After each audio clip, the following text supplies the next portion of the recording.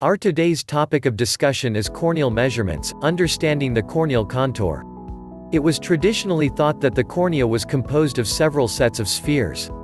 A sphere is a geometric figure with an equal radius to all points from a fixed central point. Recent technology has provided a better understanding of corneal shape. These technologies have defined the cornea as an aspheric surface having a steeper central area and progressing flatter periphery. As it pertains to contact lens design, it is convenient to describe the cornea as two spherical zones. The first zone is the central sphere of the cornea, referred to as the corneal cap. The center, or optic zone, of the contact lens is designed to conform to the corneal cap. The second corneal zone is the flatter periphery, the area between the corneal cap and the limbus. The contact lens peripheral curve is designed to contour this zone. In order to match the curve of the contact lens to the curve of the cornea, it is best to obtain some type of corneal measurement. There are several ways to do this, which are described in the following paragraphs. Keratometry. The keratometer has long been the standard in measuring corneal curvature. There are several disadvantages associated with the keratometer. It is time-consuming with an inherent error rate due to operator difficulties.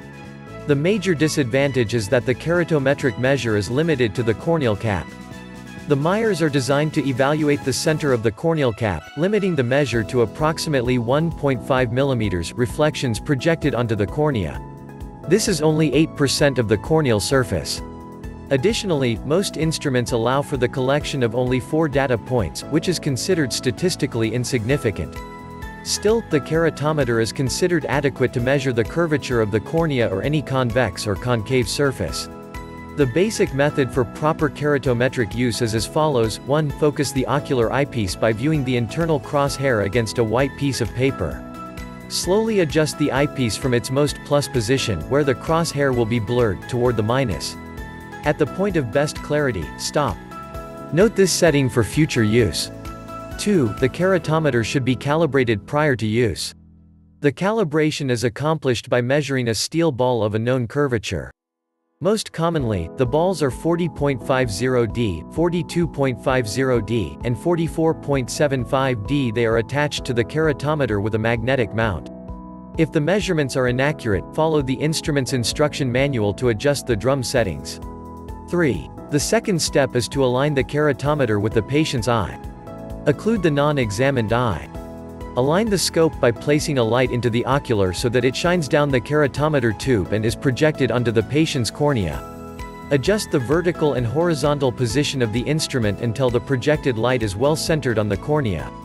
4. Next, bring the mires into focus with the focusing knob. Then adjust the vertical and horizontal knobs to bring the mires into close alignment. 5. The axis is identified by turning the keratometer tube until the plus and images attached to the mire circle are aligned. 6. Once the axis is identified, the horizontal and vertical knobs are fine-tuned until the plus and mires are overlapping. 7. Make note of the readings on the scales. Commonly, the readings are noted as horizontal diopters at the horizontal meridian, vertical diopters at the vertical meridian. This may be followed by a calculation of the number of cylinder diopters present and a comment about the mire quality.